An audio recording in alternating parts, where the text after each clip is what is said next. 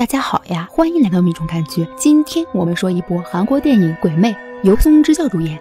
电影的男主人公叫瑞珍，他的妻子秀静半年前死于一场车祸。从这之后，瑞珍就时不时会梦到妻子出事时的画面。瑞珍因此开始接受心理治疗。他试图用催眠的方式让记忆重回车祸现场，找到肇事司机。在他的梦夜里，他和妻子坐在车里，妻子转头想跟自己说些什么，他却没有听妻子的话，自顾自地走下车。妻子追了上来，这时一辆车开过，撞倒妻子。瑞珍想要努力看清楚肇事车辆里坐着的人，却一直无法看清，而且每次催眠进行到这时，眼前场景就会突然转变。瞬间，他来到一个游乐园，旋转木马前站着一个红裙子小女孩，背对着瑞珍。就在小女孩转过来的瞬间，瑞珍惊醒。游乐园的画面时常会出现在瑞珍潜意识里。红衣女孩是他的妹妹，于1996年在游乐园走失。但这和妻子的死无关。几天后，瑞珍接到儿童福利院打来的电话，得知失踪的妹妹在前不久被找到了。瑞珍马上前去约定地点和妹妹见面。妹妹有珍六岁时走失，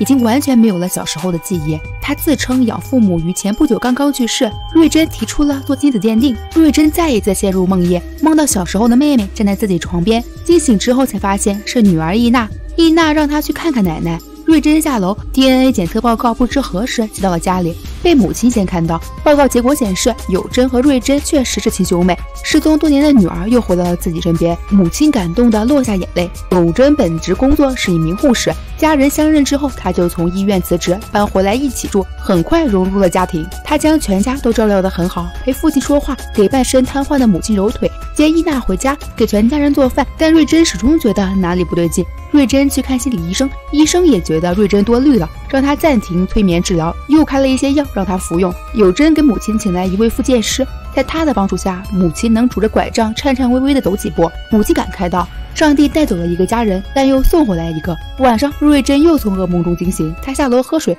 回房间的时候看到有珍正在上楼，背上有一个奇怪花纹的纹身。瑞珍始终觉得不安心，于是悄悄拜托家里的保姆阿姨帮忙多看着点。又一次，有珍主动要送伊娜去上芭蕾舞课，保姆阿姨便跟着一起去。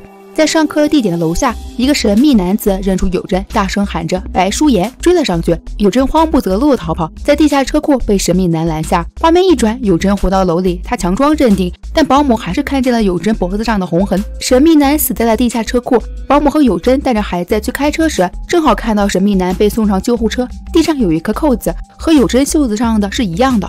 保姆非常惊慌，在回去路上想要偷偷打电话求助。这时，有珍一个急刹车，手机掉落。瑞珍家里，保姆留下一封辞职信之后便不见踪影。辞职理由是为了一个男人，看笔记确实是他写的。有珍表示自己亲眼看见了保姆和一个男人待在一起。瑞珍仍然想不通，已经做了五年的保姆，为什么没有任何预兆的就要离开？车祸现场不远处，一辆车的行车记录仪拍到了一些线索。瑞珍来到警局，意外的在监控画面里看见了有珍。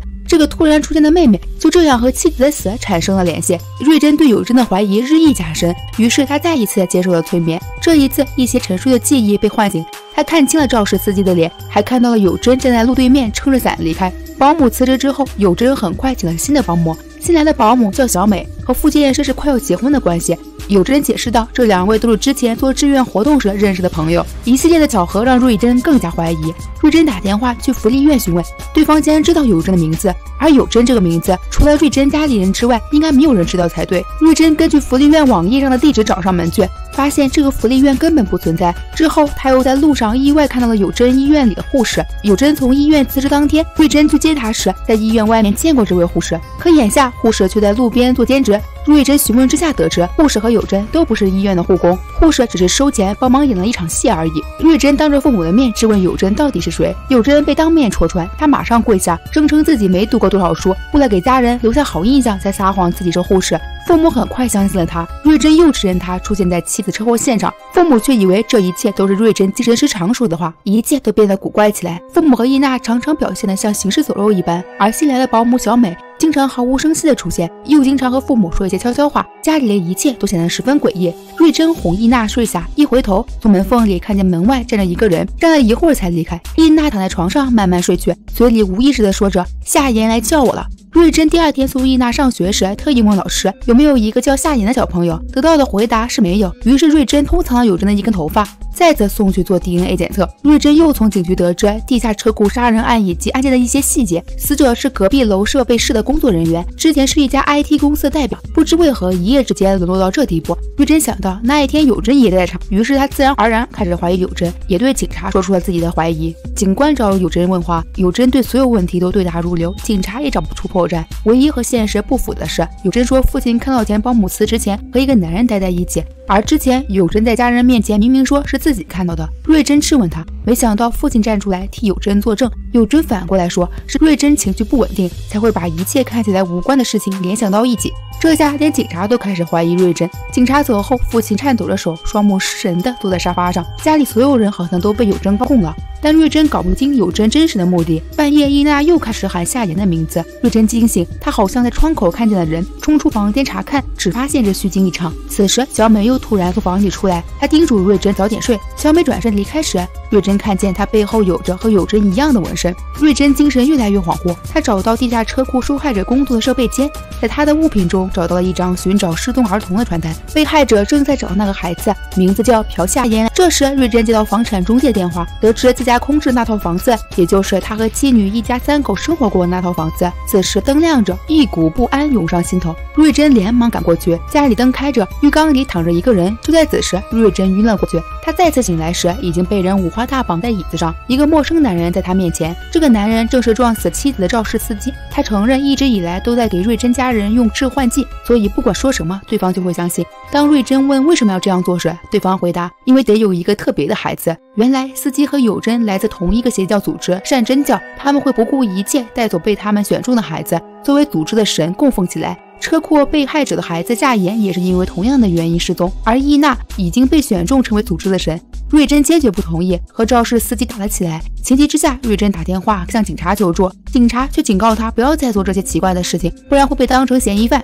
无奈之下，瑞珍只好自己开车回去。到家的时候，警察也在。有珍找出前几天他意识混乱时掐着自己脖子推倒伊娜的监控视频，报了警。瑞珍根本没料到家里被装了监控，看来这也是有珍计划中的一环。这时，心理医生突然出现，他说瑞珍抑郁症严重，甚至开始有暴力倾向，所以才叮嘱瑞珍的家人装监控。最后，瑞珍以虐待儿童和家庭暴力罪被逮捕。他被带走之后，心理医生向有珍以古怪的姿势行礼。原来，有珍、保姆、复健师、心理医生，所有人都是一伙的。瑞珍被关进警车，有珍所有的计划都顺利完成了。他来到瑞珍身边，告诉他所有真相。原来瑞珍的妻子秀静和友珍很早之前便已认识。伊娜出生之后，瑞珍只顾着赚钱，忽视了家庭。秀静一个人带着孩子，生活很不幸福。在最低谷的时候，友珍接近她，将她带入了组织。不久之后，伊娜便被组织选中了。秀静不同意，噩梦就是从这时开始。秀静车祸当天，她开着车，瑞珍坐在副驾座，一直谈工作。秀静试图开口和她谈一谈，但是瑞珍忙着工作，没有理会她，下车便走了，没给她说话的机会。秀静跟着下车，想把一切都告诉瑞珍。就在这时，迎面开来一辆车，他在车祸中丧生。瑞珍听到这一切，快要崩溃。隔着车窗，他看见伊娜被带走，伊娜即将被带往圣殿进行仪式。真相已经大白，但是没有人相信瑞珍的话，所有人都被尤娜和她背后的组织欺骗得团团转。但瑞珍不能看着女儿被带走，所以在被带回警局路上，她不顾一切逃了出来。瑞珍随手拦下一辆车，没想到这辆车也是组织派来的。瑞珍抢过方向盘，在争执间一个急刹车，瑞珍晕倒在车里。梦境再次出现，已经知道了所有的瑞珍向妻子真诚道歉。妻子对他说：“你要守护好伊娜，好像是冥冥之中的指引一般。”妻子说完这句话，瑞珍醒了过来。还开车赶往圣殿救孩子。瑞珍在一片小树林里找到有珍和伊娜，两个人为了抢伊娜打了起来。有珍甚至掏出了一把刀。过程中，有珍坦白自己的经历，他也是被选中的孩子，从有记忆以来就在圣殿前接受侍奉。他的人生没有别的选择。如果当时在游乐园里的瑞珍没有松开自己的手，现在一切都会变得不同。他还告诉瑞珍，那时游乐园里飘走的气球是蓝色的，以此来证明自己就是瑞珍的妹妹。瑞珍头痛欲裂，有珍找到机会捡起刀子，一回头就看见伊娜已经站在了悬崖边。瑞珍冲过去救下伊娜，有珍想趁机把她推下去，没想到自己失足摔了下去。瑞珍拉住她的手，有珍还试图用兄妹感情来感化她。瑞珍想起来，当时飘走的那个气球是黄色的，而不是蓝色的。